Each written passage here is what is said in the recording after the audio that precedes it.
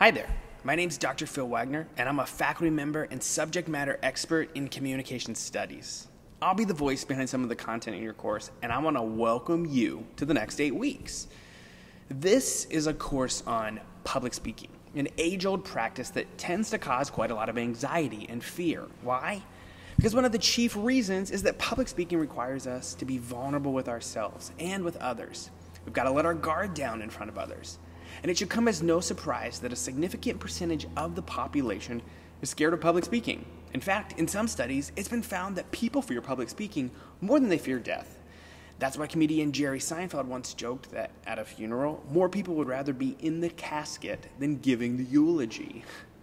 We're going to help you address some of that anxiety over the next eight weeks. Why? Because even though it might be difficult, public speaking is an important civic right and virtue. We have an opportunity to contribute in our democracy by shaping what happens with our voice. Better public speaking skills can also help us in the world of work, as communication excellence is commonly cited as one of the most sought after skills by employers. Public speaking gives us power and opportunity. But as the age old saying goes, with great power comes great responsibility. As speakers, we have several responsibilities. We have a responsibility to understand just how powerful our words are in shaping the reality around us.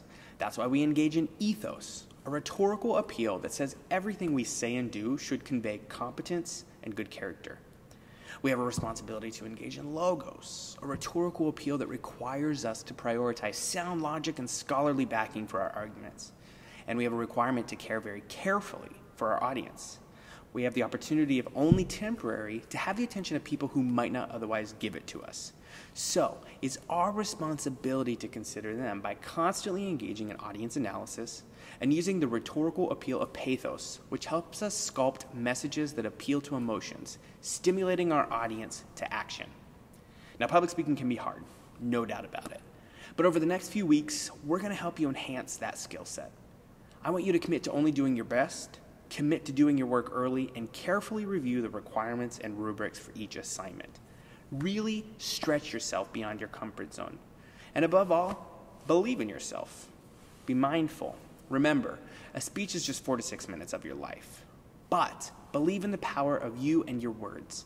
There's an age old proverb that says, Life and death lies in the power of the tongue. Our words have power. So if you ever get doubtful or nervous, just remember that great power lies within you. I know that you'll do great things over the next eight weeks.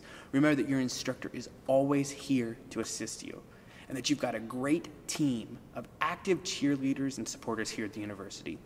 You can do this. You will do this. And in the next eight weeks, you'll enhance a skill set that will serve you well for the rest of your life. Good luck.